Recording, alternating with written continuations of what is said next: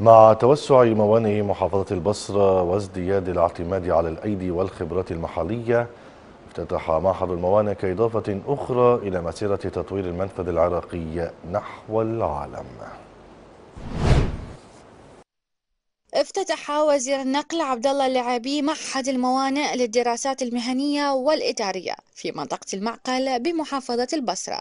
المعهد يستوعب 120 طالبا وبقسمين إدارة الموانئ وتقنيات الموانئ وذلك بعد أن تم أخذ الموافقة من وزارة التعليم العالي. تم استحداث قسمين قسم إدارة الموانئ وقسم تقنيات الموانئ في معهد الموانئ وحصولنا على الاعتراف من وزارة التعليم العالي بالشهادة. إيه، راح تمنحنا شهادة معادلة لشهادة المعاهد التقنيه تمنح للطالب بعد التخرج. وبإمكان الطالب في هذه الشهادة أن يكمل الدراسة أو يتحول إلى التعيين أو العمل.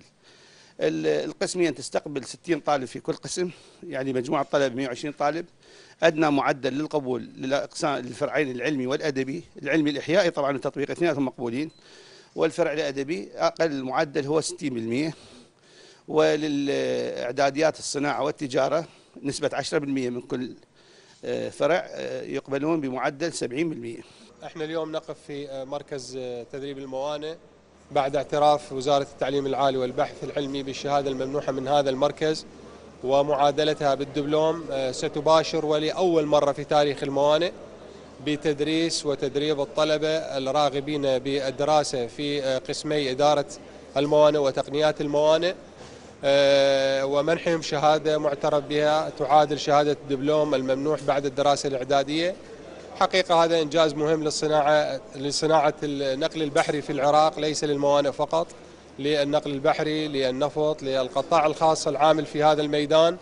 وهو طفرة نوعية ستمكن آه، حقيقة البصرة وتمكن وزارة النقل من تأهيل كوادر قادرة على أن آه، تحمل تتحمل المسؤولية وتدير شؤون الموانئ وتدير شؤون النقل البحري بامتياز وبمهارات وكفاءات عالية. على هامش الحفل افتتح الوزير مشروع طريق الصداقة الكورية شارع الموانئ من قبل شركة داي الكورية في البصرة.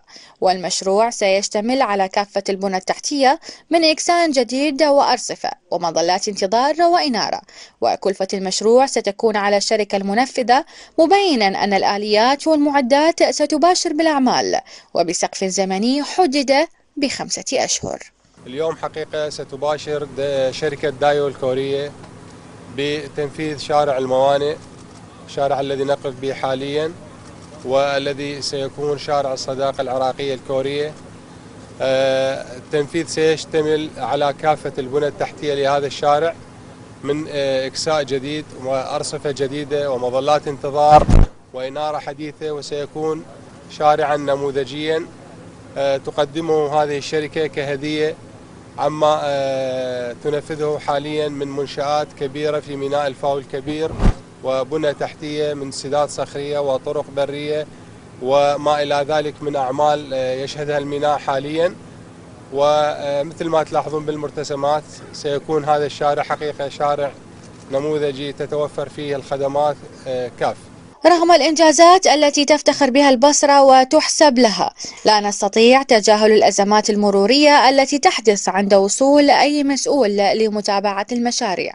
فقطع الطرق على المواطن وخلق أزمة سير وتأخير الأعمال من أجل قطع شريط أصبح كابوس المواطن ويجب عليه أن يلتزم الصمت. الاحتفال تعبير عن الفرح لكن أفراحنا دائما منقوصة. فبعد أن جاءوا ليحتفلوا بمشاريع جديدة للشركة العامة لموانئ العراق تحول إلى يوم أسود. فقطع الطرق على المواطنين لاستقبال الوزير لم يدعهم يهنأوا بيومهم. لقناة وطن الفضائية نور ماجد البصرة.